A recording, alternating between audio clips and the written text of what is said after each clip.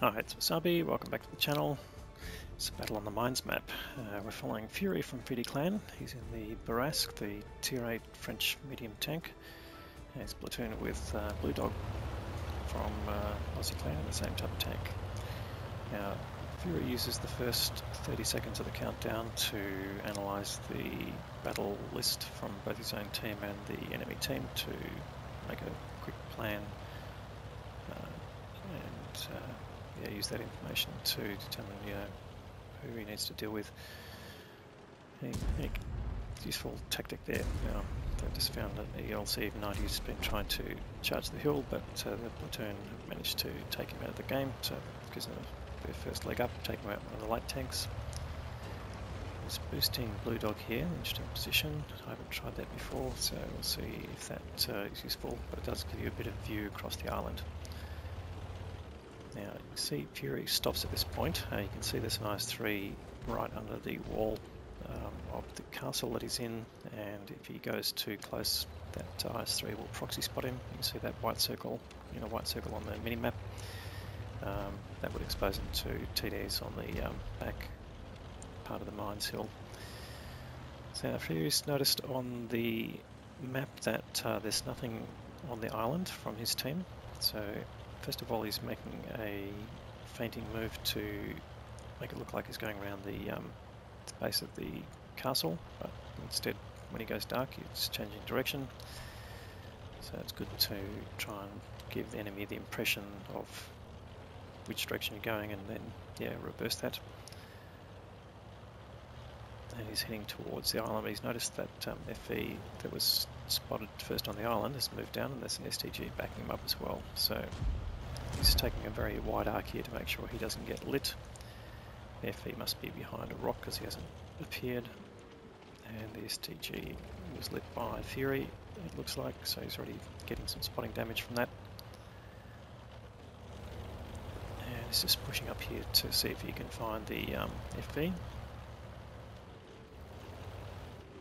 And here he goes, got the rear of the FV. The FV just noticed he's been spotted, but he can't really push now on Fury, which is good.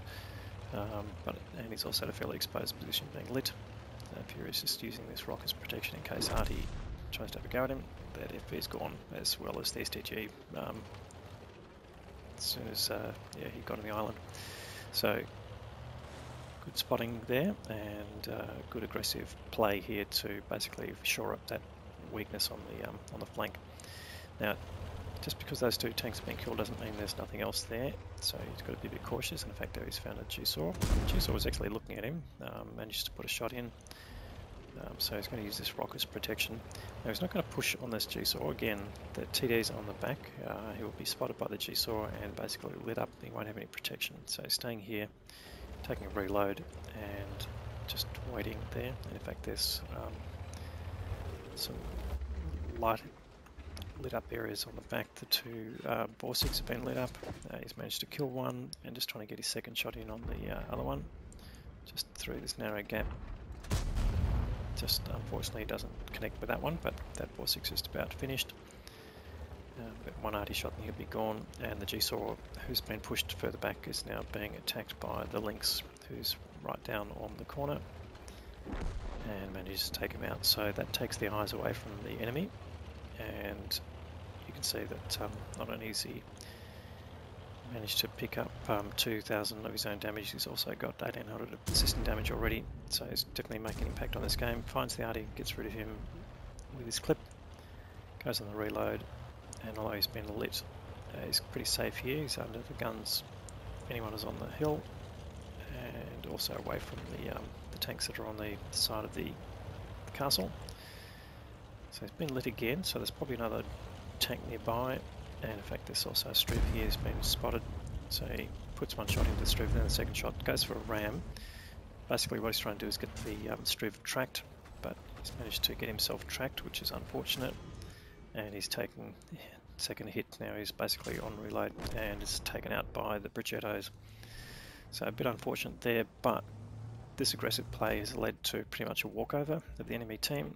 Um, obviously the tanks in the team helped, but um, his play helped make sure that uh, they weren't getting their backline attacked at the same time, which would have spread their forces around and made made it a weakness. So good, quick thinking there has really turned the day, and his uh, teammate tries to do a cliff dive on the Progetto, finally gets killed, and uh, they're just about at the end, I think, of the match, and that's the end. Anyway, let's go and have a look at the results. So Fury picked up a first class mastery badge there for that game. Uh, didn't get any particular medals there apart from the minor bruiser and um, fire for effect badges, etc. But he did uh, earn 3400 damage of his own and 2550 of uh, assisted damage, giving him a total of uh, very close to 6k of combined damage there, as well as the two kills. So good all-round performance. 1368 base experience would get you a mastery badge ace tanker in most tier 8 tanks, but um, the Bourrasque's got a pretty high level uh, due to who's playing it at the moment. So, so you need to get around about 1600, I think, to get um, an ace tanker in that uh, tank. Uh, but he finished well ahead of uh, the rest of his team in terms of experience earned. So it shows the impact that he had on the game there, both from his decision making and his actions. So he fired 11 shots. Um, only one missed and all the ones that landed penetrated. Um, he didn't spend a whole lot on premium ammunition um, ended up making 65,000 credits, so a nice earner for the day. Anyway, great result there, and I think a great game uh, for people to learn from. So thanks for the content, Fury, and we'll look forward to more.